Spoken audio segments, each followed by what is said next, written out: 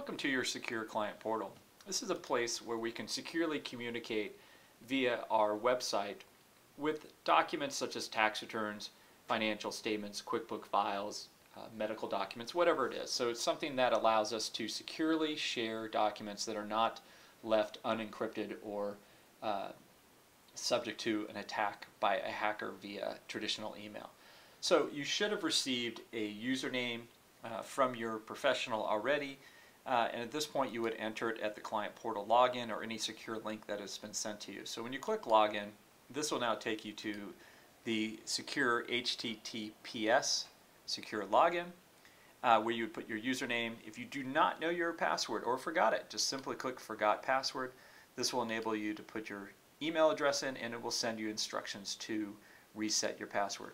If you know your password, simply enter it in the password field, click sign in, and this will now take you to your secure portal. Here there's a couple different options. You'll see three tabs here at the top, the home, the conversations, and documents. So within each area is where uh, you'll be able to browse through uh, existing conversations, you can start new ones, or download documents that have been shared already.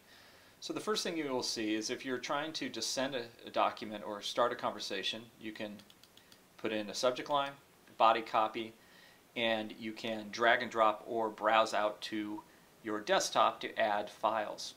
If you have existing messages that have been sent to you by your professional, you can simply click on Go to Message Center, and this is where you can review different messages that have been sent or access a new uh, message.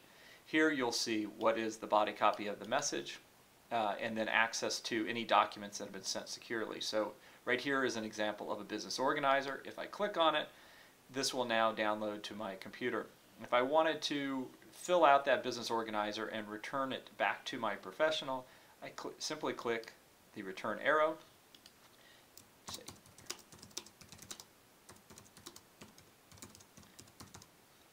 Fill in some body copy. If you're using Chrome or Firefox, you can drag and drop. If you are using other browsers, just simply click on and browse out.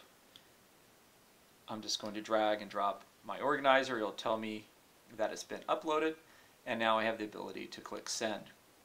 At this point, that message will be sent over to your professional, and they will receive an update email that a new document is ready for them.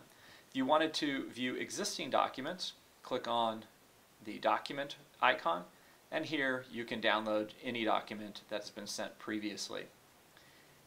If you want to search by different fields and sorting, you have the ability to do new, newest by oldest, oldest to newest, A to Z, Z to A by file name.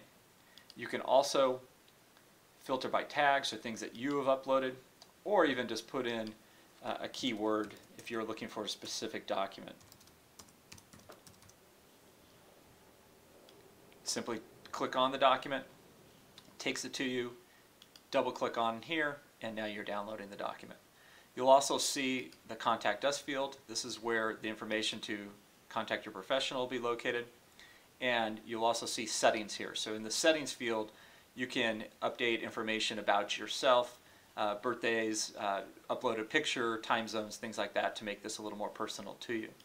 So we hope this tutorial has helped you. You can always call your professional directly if you need any assistance with setting up your username and password. Thank you.